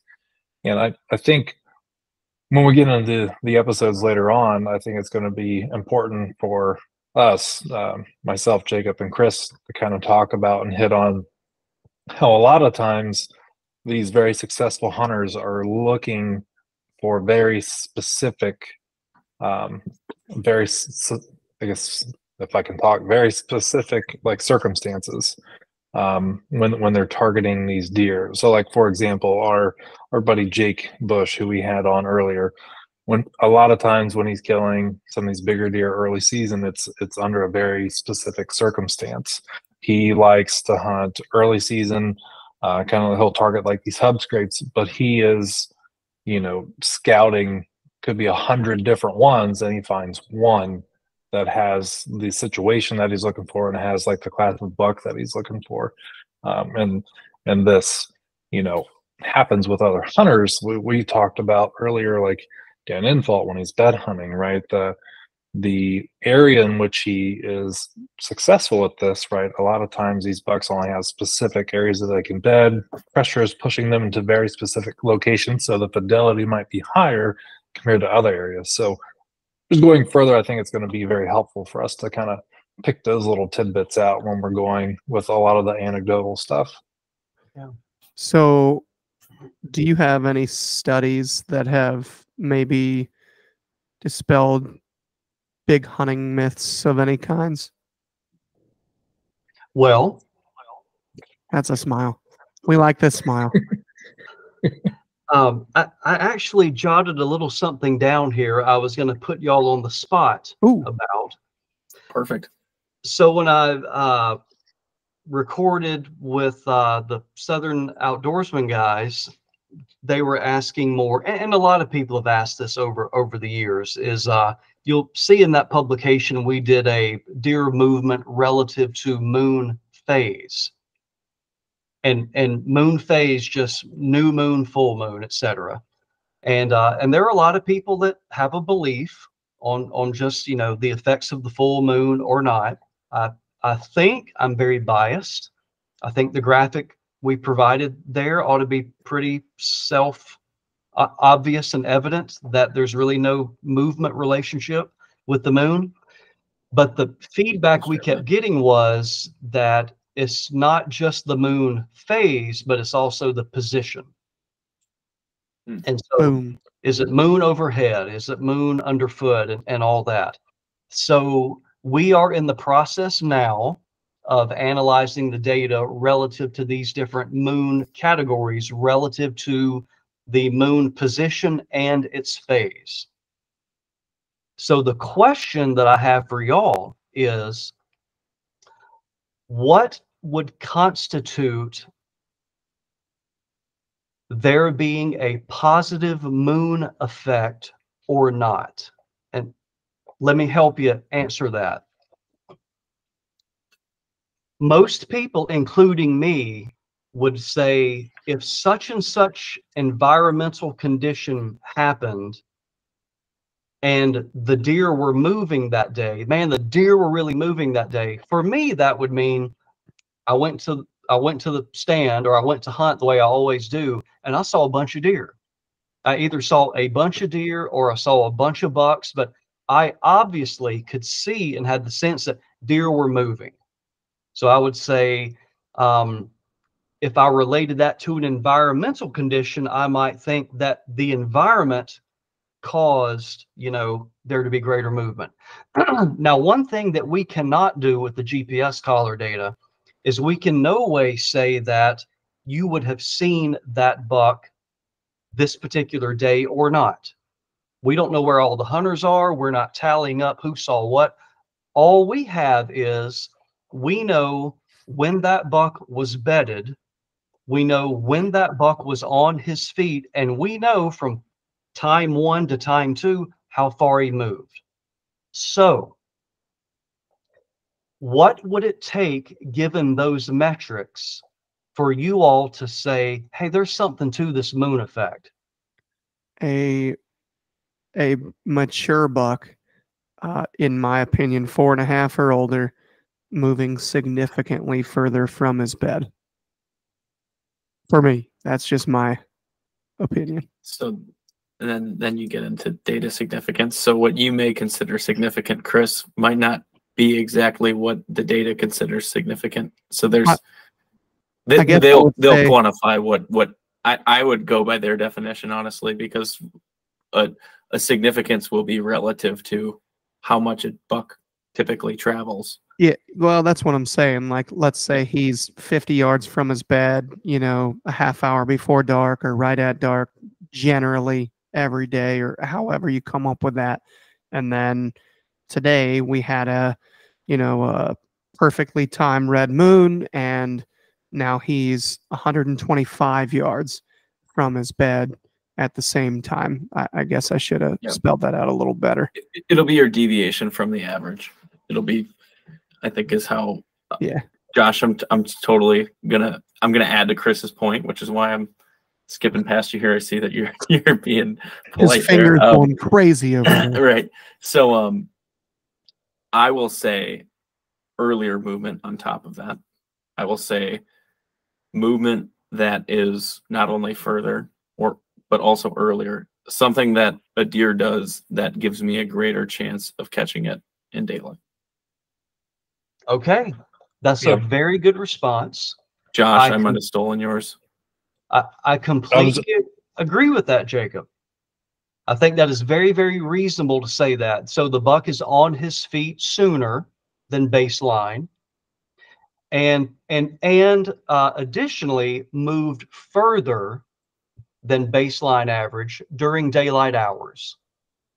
So I'm I'm gonna just add a caveat there. So because I've dove into this past couple years, the, the the people that really harp on the moon and really pay attention to it say total distance does not change. It is the time. Like they may move on their feet a little bit sooner, therefore they may get to a location where you can kill them in daylight hours. Um, at least that's what I've heard by the owner of the Red Moon Guide that's his big thing. It's it's not so much distance, like total distance difference. It's you have to be in the right location, but it's just a, a little nudge to get up a little sooner and start that movement pattern. Um, and I feel like that's fairly accurate. And then typically it's with the moon position lining up with those uh, dusk and dawn times when they are naturally up and walking more often during daylight hours. So Sorry, I didn't mean to interrupt you there. if if a deer gets up earlier and starts walking sooner, then we could probably agree that he's going to make it a further distance. Then No, I'm his total distance isn't changing. He's just moving sooner. okay, D- do you see where I'm going with this line of questions here? Is what what I'm trying to get insight on from you guys is this is not going to be for for those of you that are statistics gurus. This is not going to be a statistical significance answer because we have so much data that we could find statistical significance fairly easy if there's any deviation from baseline.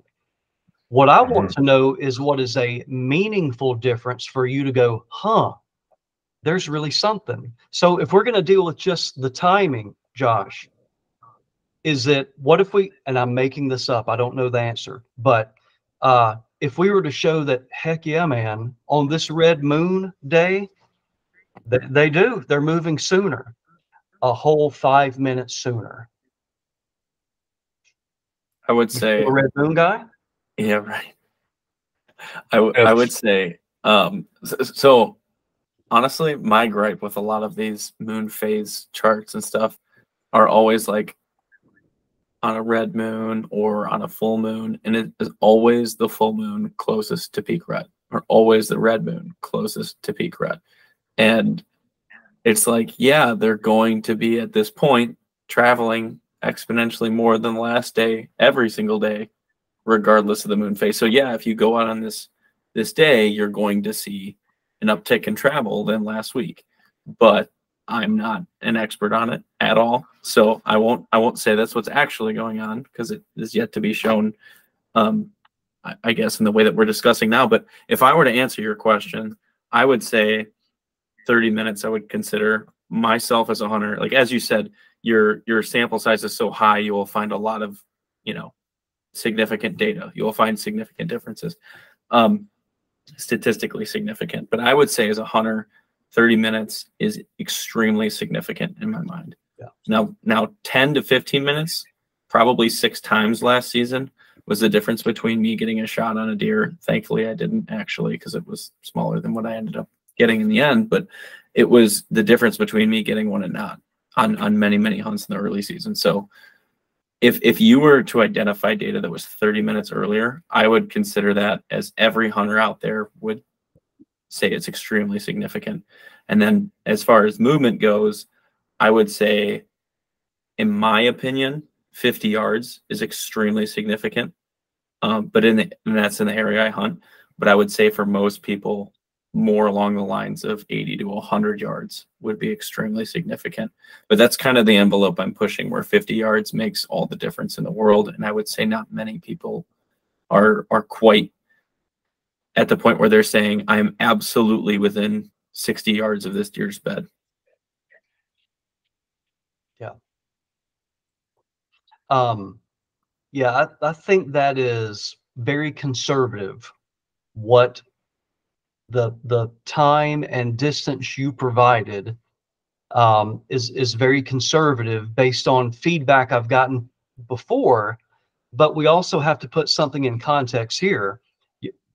Y'all aren't the typical hunter. I think that's typically lashing out to me, and what what you're describing is getting an edge on a particular buck and having a shot. And mm-hmm. I don't know if y'all represent 5% of hunters that feel this way or 55% of hunters. But then there's another group that are just going to say, is today, and, and y'all know this, is today a good day to hunt or not? Because, quote, the deer are going to be moving.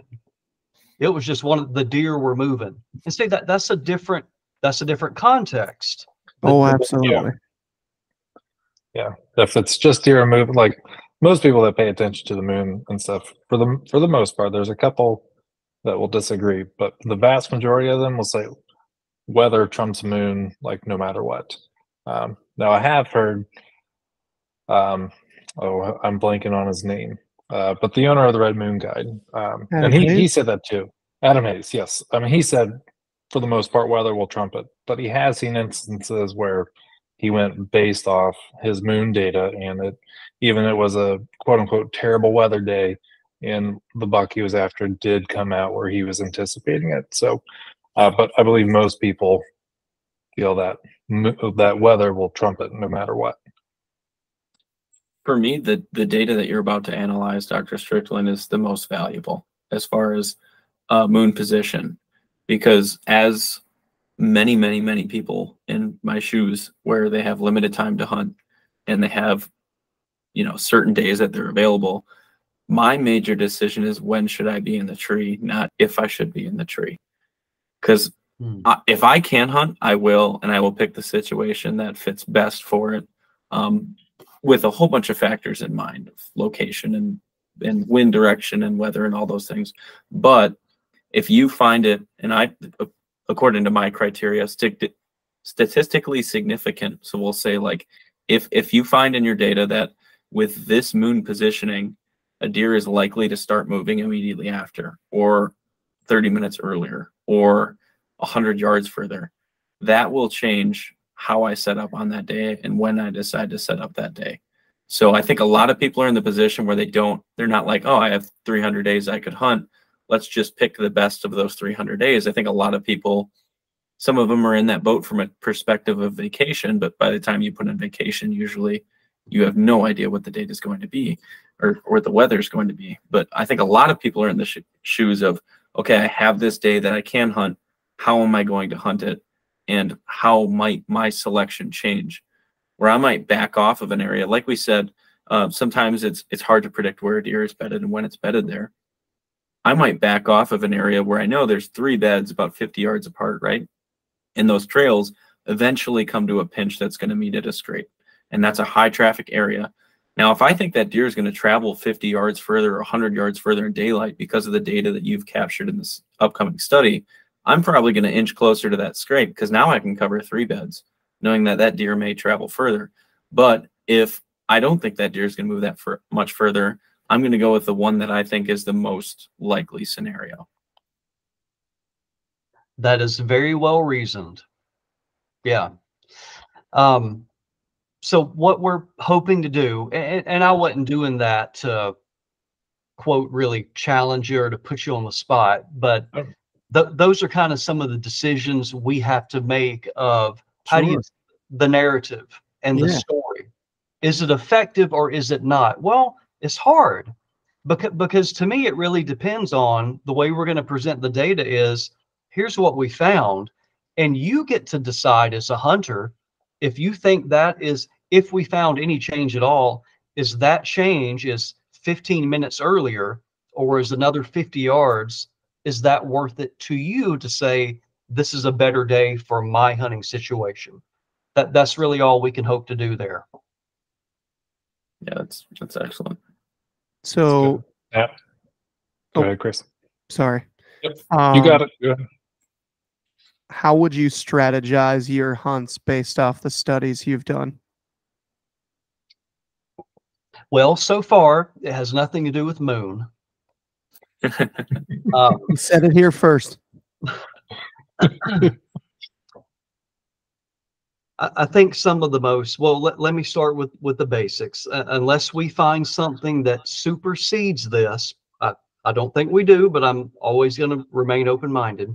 Um, nothing supersedes sun up and sun down uh, nothing supersedes the greater movement response we see during the rut now what i have really enjoyed looking at and again this is our environment so i cannot say this translates to ohio or wisconsin Sure. but where we're at and what we see with these affinity to food plots i mean deer are visiting food plots. There, there's no question about it.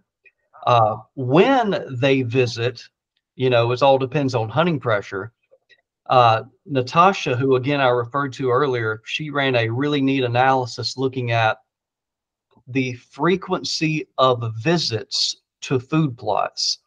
And what she found is that throughout the year, September to October, and really for us, our cool season food plots, they're really being planted and really starting to germinate and grow October and then November.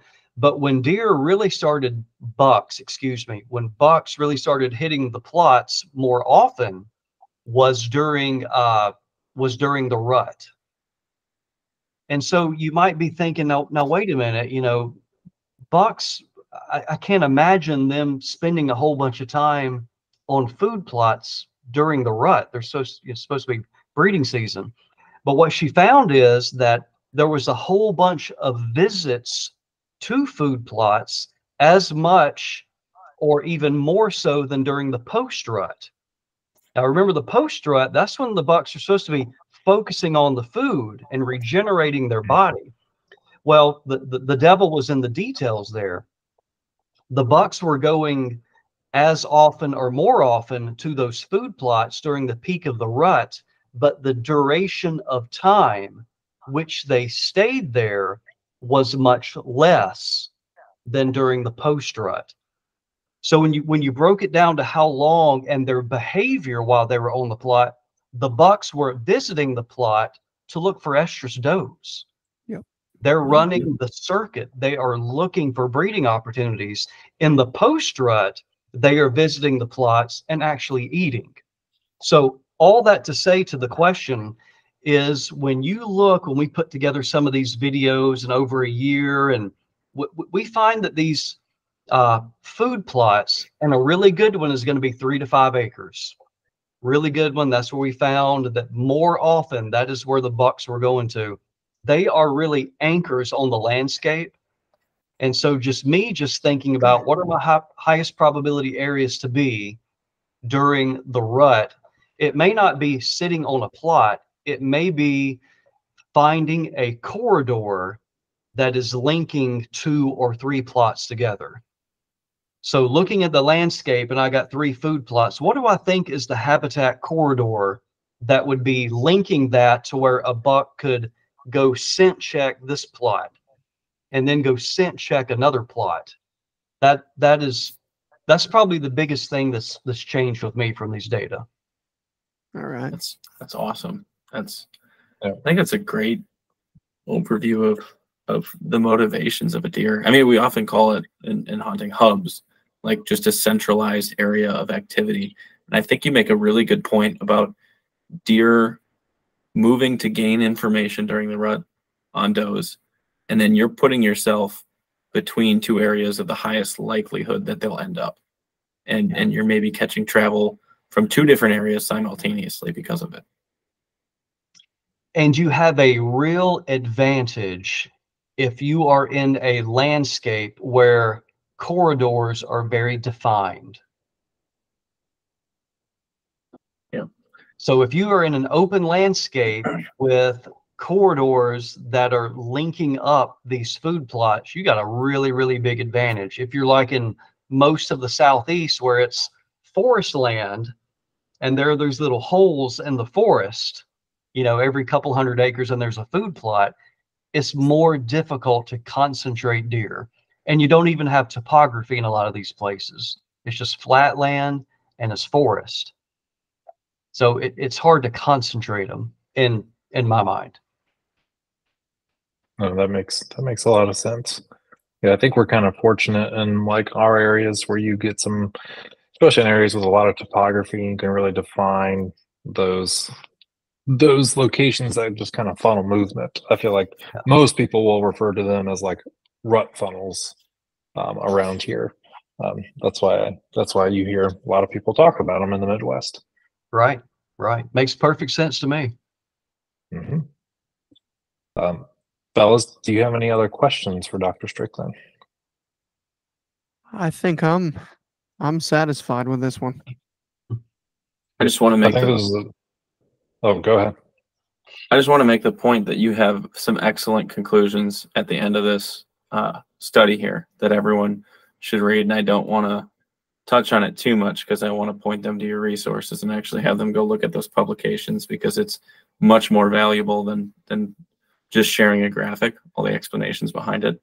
But I think we've done a good job touching on comprehensively how deer bed in relation to time of year and how they move and what their motivations are. And then it is at least invited the listener to think a little bit behind some of the trends they've seen in hunting and why those might be. Because, in all honesty, there's a lot of people that get, we'll call it triggered. That's probably not the best terminology, but triggered when these studies come out because they're like, my anecdotal data is not lining up. Well, there's a lot of reason for our habits dodging deer habits. And and uh, I just think that we've done a great job of explaining potentially some reasoning behind it too. I love it. Yep. So for our listeners, we'll post the link. Uh, we'll post the um, research article. That way, it's nice and easy to find. Um, but yeah, definitely look on the website, read over the study. There's lots of good information, as well as some of the other studies. If you haven't looked over those, there's lots of good tidbits that you can utilize and and really help your skill set as a whitetail hunter, I believe. Uh, but with that, this has been the Whitetail Apprentice series, and I've been your host, Josh Luck. I was co-hosted by Christopher Leppert, Jacob Sklinner, and we were joined by the very wonderful Dr. Bronson Strickland. Dr. Strickland, thank you very much for your time. Thank you. Absolutely. Anytime.